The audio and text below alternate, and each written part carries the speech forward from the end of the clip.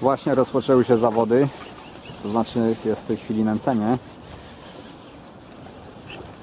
Grzesiu Gryga na ostatnim stanowisku. Chyba dobrze polosował, jeśli chodzi o ten sektor. O miejsce, chociaż sektor mówi, że nie jest za specjalny, że tutaj raczej nie wygra nic zawodów. Grzesiu, co sądzisz o tym sektorze? Ciężki sektor. Myślę, żeby nie było słońca, to by było lepiej. Aha, dzisiaj mamy y, wyłączoną ukleję, więc w tym sektorze na pewno się tutaj nikt nie nastawia na tą rybę. A jakie ryby y, myślisz odławiać? Myślę, że będą drobne krąpie. I to jest właśnie to.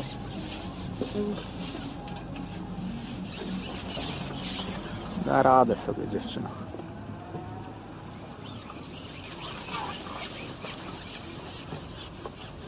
Czyli raczej krąpie będą odławiane.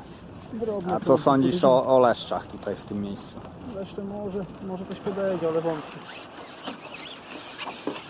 No, Dzisiaj było ochłodzenie, więc prawdopodobnie ten krąb nam ucieknie, trochę mniej go będzie.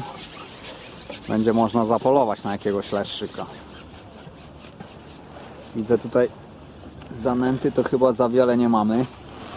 Przewaga gliny, robactwo, trochę kastera, jokers, ale widzę nie masz przesadnie. Czyli nie, nie chcesz nakarmić ryb. Nie.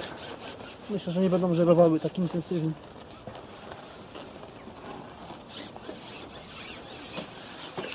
Jakiś faworyt na te zawody? Oczywiście oprócz siebie? Felipe. Filipe, tak? Ale nie wiem na którym stanowisku wylosował. On tam jest troszeczkę bardziej z tamtej strony. Czyli taktykę obierasz, że na początku dużo nęcenie precyzyjne. Tak. Kubeczkiem wszystko wyjeżdżasz, nic chyba z ręki nie rzucasz z tego co widzę. Nie No chcę tak, tutaj nie- Nie straszyć, nie straszyć. Nie jest za głęboko. Trochę ryba by odskoczyła od tych pierwszych kul.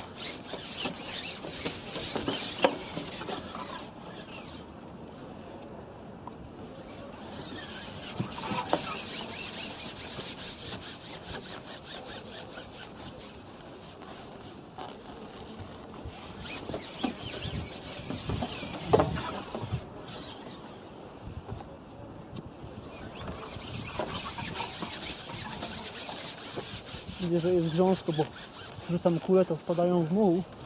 Się trochę tego No boję. właśnie chciałem powiedzieć, że coś tam bąbluje. Raczej to ryby, ry, ryby to nie są. Podejrzewam. Bardzo miękko. Miękko i bąbelki wychodzą z wody.